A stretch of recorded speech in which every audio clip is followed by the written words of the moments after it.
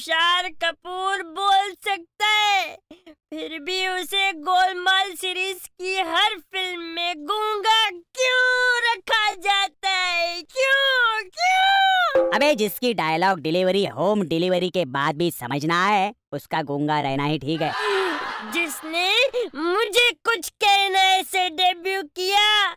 रोहित शेट्टी उसे कुछ कहने क्यों नहीं अबे एडिटिंग में रोल कट जाए इससे अच्छा है कि उसकी ज़ुबान कट जाए उसी का भला है। तुषार को बोलने का पूरा हक है।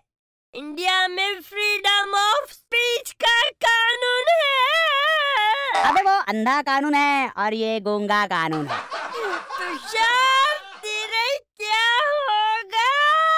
गूँगा बना रहे। साइन लैंग्वेज सीख ले और गोलमाल पाँच, छह, सात, आठ साइन करता चल। क्योंकि जो दिखता है, वो बिकता है और जो बकता है, वो नहीं बिकता है। नीचा आजा मेरे भाई।